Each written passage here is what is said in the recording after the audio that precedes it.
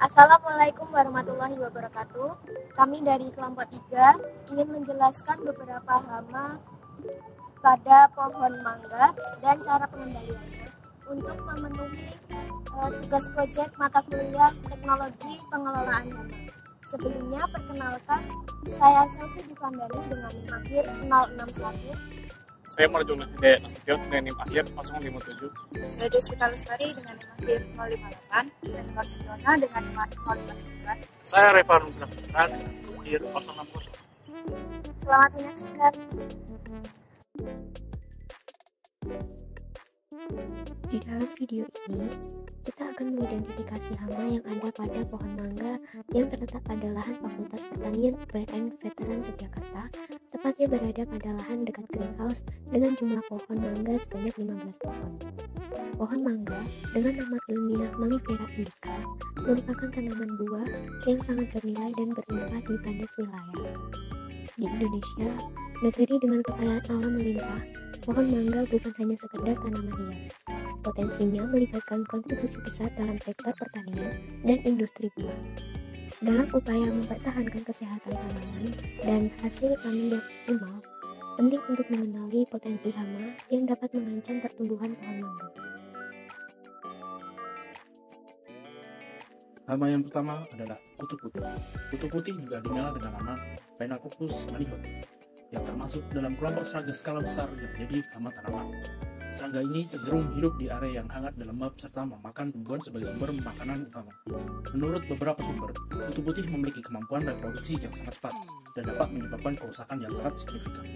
Kutu putih memiliki sifat parthenogenetik peritopi, yaitu dapat bereproduksi tanpa melibatkan perkawinan jantan.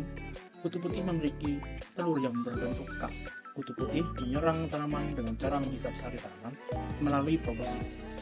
Kutu putih biasanya menempel pada daun dan batang tanaman, terutama pada bagian yang masih muda dan lembut. Saat menghisap sari tanaman, kutu putih dapat menyebabkan kerusakan pada jaringan tanaman dan mengganggu pertumbuhan dan perkembangan.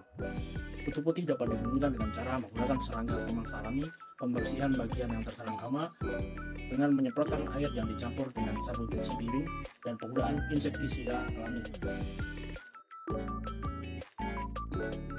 Nah, selanjutnya di sini ada hama wereng daun mangga merupakan serangga kecil yang menyebabkan kerusakan pada tanaman mangga dengan cara menghisap cairan tanaman melalui proboscisnya. Wereng ini menyerang daun mangga, menyebabkan daun menguning, keriting, dan dapat menghambat pertumbuhan tanaman. Proses penularan umumnya melibatkan wereng yang terinfeksi atau melalui, melalui hewan pembawa. Musim kemarau cenderung memperparah serangan wereng daun mangga. Sehingga untuk pengendalian dari hama wereng daun mangga ini yaitu pengendalian hama ini melibatkan tindakan pencegahan seperti pemilihan varietas tanaman yang tahan wereng, menjaga kebersihan lahan pertanian, penggunaan insektisida dan praktik pertanian yang berkelanjutan, monitoring teratur terhadap populasi wereng dan kerjasama petani dalam pengelolaan hama juga diperlukan untuk melindungi tanaman mangga dari serangan yang merugikan. Hama selanjutnya yang ditemukan yaitu Prochontarinia mateyana yang merupakan lalat kecil berwarna hitam dengan panjang tubuh sekitar 3 mm dan berwarna putih. Hama ini menyebabkan penyakit puru pada daun mangga. Hama ini menyerang dengan cara meletakkan telur di daun yang mudah bentol. Karena larva tumbuh dan berkembang dengan memakan jaringan di daun. Hama tersebut mengeluarkan cairan ekskresi yang merangsang pertumbuhan sel pada jaringan tumbuhan menjadi berkembang pesat dan mengakibatkan bentol-bentol. Selanjutnya, hama ini dapat dicegah dan diberantas dengan menjaga kebersihan lingkungan dan penyemprotan insektisida. Tanah di sekitar pohon diperhatikan secara berkala. Tanah perlu dicangkul dan dibalik agar kepompong yang tersembunyi di dalam tanah mati terkena sinar matahari. Daun mangga yang berbisul-bisul dipotong dan dikumpulkan untuk dibakar. Lalat dewasa dapat diberantas dengan insektisida. Jenis insektisida dapat mempergunakan Lipchart 5EC, Simbus 50EC, atau Desis 25EC. Kalau menggunakan insektisida nabati seperti tepung tembakau, minimal mengandung 1% nikotin.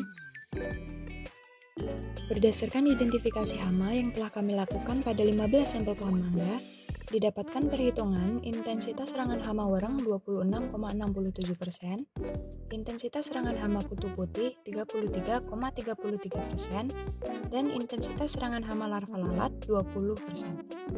Hasil ini terbilang rendah sehingga tidak diperlukan pengendalian secara kimiawi. Pengendalian yang dapat dilakukan antara lain pengendalian fisik, seperti penyemprotan campuran air dan sabun cuci piring ke kutu putih, dan pengendalian mekanik dengan memasang perangkap hama. Sekian video yang dapat kami jelaskan apabila terdapat kesalahan dan kurangnya informasi yang kami sampaikan, kami mohon maaf. Wassalamualaikum warahmatullahi wabarakatuh.